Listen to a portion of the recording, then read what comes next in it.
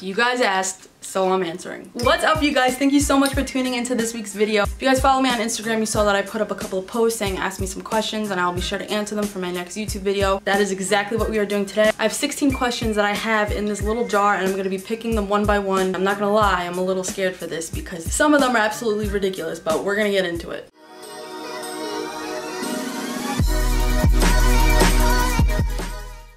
I'm actually sweating because there's questions in here that I actually really don't want to answer. Alright, first question. Where's, oh, that, I don't want to start with that. I don't want to start with that question. So we're gonna cheat a little bit. First question says, what inspired you to start a YouTube channel?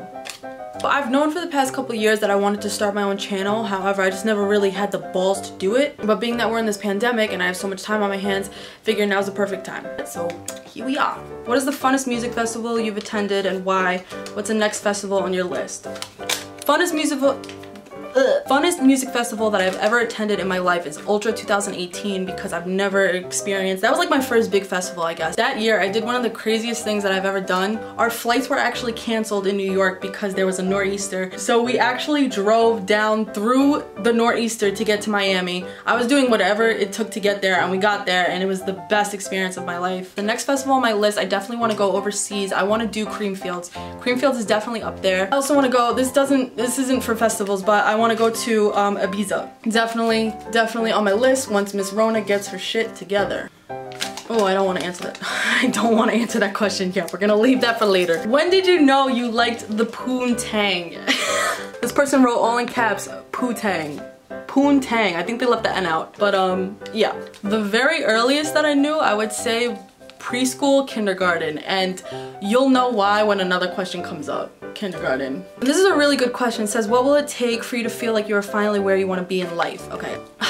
I believe that happiness is not a destination. Oftentimes in life, I feel like we say, I'm not gonna be happy unless I get that job I have or that car I have, when in reality, you get that job or your car and you're still not entirely happy. I mean, I think, like, do you get what I'm saying? To answer this question overall, I guess I would say I would have a job in my field, which is making horror movies or TV shows, and if you know, that's a very, very difficult field to get in, as well as having my own house with my own family. I would say that that would make me where I finally want to be in life. But that's like kind of the beauty of life, where you think you're gonna end up here, but you know, life comes with so much that you don't expect. So who knows if I'll ever get a job in my field? Who knows if I'll even have kids one day? When it comes to questions like these, what you really have to practice is being happy where you are now in life. That way you don't struggle as much getting to where you want to be if that makes sense. You see where i'm going with this? Sort of? No not really. All right. If an alien came from outer space introduced themselves would you let them clap cheeks If they bought me dinner first, hell yeah. Story time, best experiences at festivals and crazy memories. I love how I got this question. I wanted to do a little bit of a tribute to my favorite DJ. He actually passed away today, Garrett aka i_o. The experiences that he gave me at EDC Las Vegas 2018 and 2019 were two experiences that I will never forget in my entire life. So in 2018 I met him, he was performing at the Parliament Art Car and when he came down he looked at me and he was like, you're Val from Twitter and I was like, oh shit, yeah that's me. I couldn't believe that he recognized me. He is such a super, super, super nice guy. He was always willing to talk to his fans. He was incredible. So I want to share some clips that I had with him and of his performances. So. Dream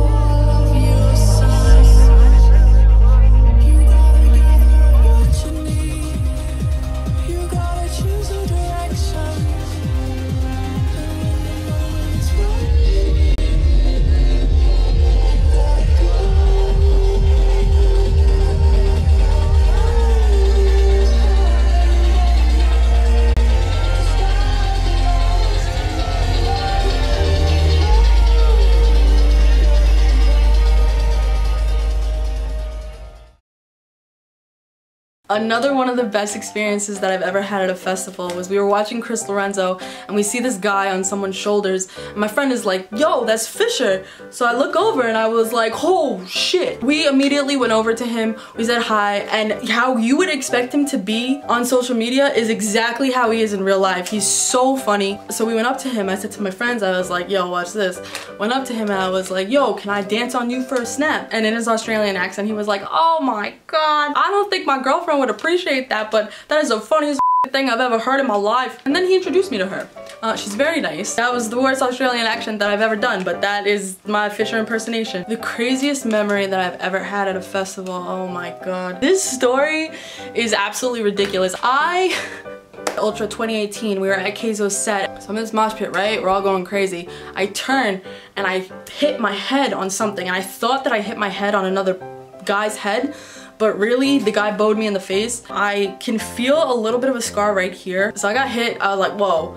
And then I knew I messed up when I felt the blood pouring down my face. But like, I didn't even care. I was so hyped. I remember the blood on my face and I remember going to my friends and I was just like, hey guys, oh my god, my face is bleeding. I just got bowed in the face, but you know what? I think I'm alright. I'm gonna go back in there. I was so like hyper and excited that I was just talking like a million words per minute. It was just, I can't, I don't even, uh, it went something like that. First celebrity girl crush. All right, remember the question that I was like, first time you realize that you like the poontang. All right, this, this question has something to do with it. When I was in preschool, kindergarten, I went to a school in Queens called OLBS. We had an after school program. I kid you not, every person to this day still probably knows me as Posh. I was so obsessed and in love with Posh Spice that I told everyone that that was my name and they actually believed me, so this one's for Posh Spice. My current celebrity crush is Sarah Paulson. She is a queen. We love her, 10 out of 10. I've watched everything that she is in. I love her. Oh god, oh god. This next question says, what is your experience or stance on hooking up with someone that you work with?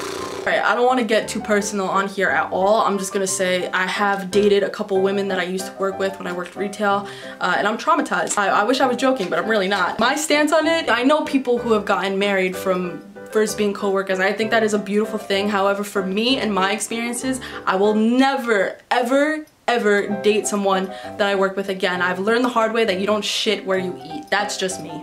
Next question. Next question says tips for getting a club penguin girlfriend. This is this is the best question. First of all, this is what you're gonna do. You're gonna take them out to eat at the pizza spot. You're gonna get a slice of pizza, then you're gonna hit the club. The club is where all the magic happens in Club Penguin. Get her one of those puff can you get them like those little puff pets? Can you give those as gifts? If you can, get them a puffy. I know if I got that as a gift, I'd be like, all right, let's go back to my igloo. This question says, hey, um, hey, what's up? You're cool. If you could buy any exotic car, which would you get and why? I would get a Rolls Royce because I like the little I like the little diamonds that they have on the roof of the car. Does a Rolls Royce count as an exotic car? No? Maybe a Lamborghini? Those are fancy. To why I would get any of those cars would be because like look at them like they're beautiful. Sorry, I really don't know cars. Next question says, next question says, would you ever wait I forgot my question. Then she asked me, would you ever consider creating your own media production company? I have definitely thought about this before. However, I don't think that my work is nearly, nearly as professional as I would want it to be if I were to start my own company. Plus, to start a media produ production company is money that I don't have. But I have thought about it before. Maybe it'll happen in the future, I don't know. I hate the person who asked me this question. How long is your strap? god. Seven inches. It is seven inches long. No, I'm just kidding. I am as single as they come right now. And I plan on keeping it that way. Unless ladies, you can prove to me that you are not crazy, you are not a fake lesbian, and you are not still in love with your uh, ex, then maybe we could talk. Next one's not really a question, but it says show clips of shows, festivals you've experienced, and speak about why you enjoy going. I enjoy going to shows and festivals. I've always loved dancing. I always loved music, always loved dancing, and going to a show or a festival is unlike any other experience ever. It's like the moment you step in, nothing else matters. The community is so loving as a whole. You can be yourself, dress however you want. You meet the nicest people ever. It's just all around great vibes. That's why I love it. Unless you're one of those assholes that likes to push their way through to get through the front. That's you. you. Oh god. This next question. Next question says, worst date you have ever been on. Let me tell you something, I don't date often, but when I do, I come out more and more traumatized every time and I'm left in a three to four month mental bender. Don't want to get too personal on here at all.